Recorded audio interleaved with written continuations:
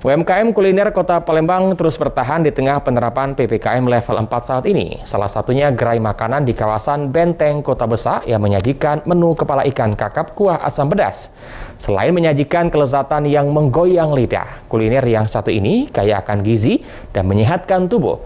Tahu seperti apa? Berikut liputan selengkapnya untuk Anda.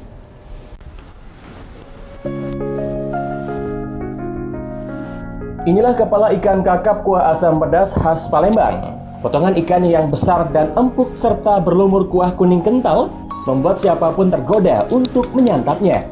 Selain kandungan gizi ikan kakap yang penuh gizi, juga racikan rempah yang ada di kuahnya. Tentu sangat baik untuk dikonsumsi di masa pandemi COVID-19 saat ini.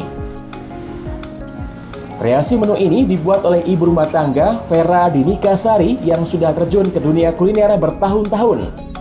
Untuk membuatnya pun cukup mudah, dibutuhkan aneka rempah dan bumbu seperti bawang merah, bawang putih, jahe, kunyit, tomat, cabai merah, daun salam, daun jeruk, gula, dan garam secukupnya.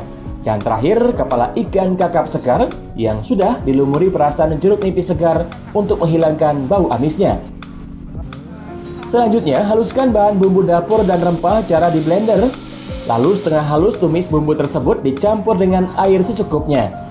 Kemudian tambahkan dengan daun salam, daun jeruk dan tomat hingga merata dan barulah masukkan kepala ikan kakap segar ke dalam tumisan. Lalu tunggu hingga matang dengan sempurna sekitar 20 menit. Istimewanya apa bu? Ya karena dia uh, apa besar ukurannya ikan kakapnya hmm. ikan kakap segar dan ini termasuk salah satu menu favorit di Radio Tento Cafe. Mungkin dari bumbunya, dari bumbu-bumbunya dari bumbunya. Apa ada cita rasa asam? Iya, ada cita rasa asam, manis, pedas. Selain gurih dan lezat, olahan gulai ikan kakap padeh dengan bumbu asam pedas banyak digemari masyarakat.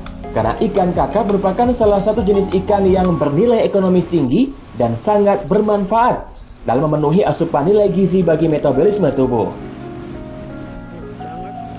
Enak banget setiap ke sini pasti saya selalu mesen yang ini karena ini salah satu favoritnya di Raja Tentro Cafe. Rasanya apa bu rasanya? Rasanya gurih, pas, lemaknya manis, asamnya terasa semua. Asam kandisnya lengkap bumbunya. Kalau harganya mahal nggak bu? Uh, kalau soal harga standar, jangkau sesuai dengan rasanya, besarnya ikan, itu yang kita cari di sini. Untuk satu porsi gulai ikan kakap padeh lengkap dengan nasi dijual Rp65.000. Dalam sehari, ia mampu menjual sekitar 15 hingga 20 porsi. Dari Palembang, Bambang Irawan, iNews melaporkan.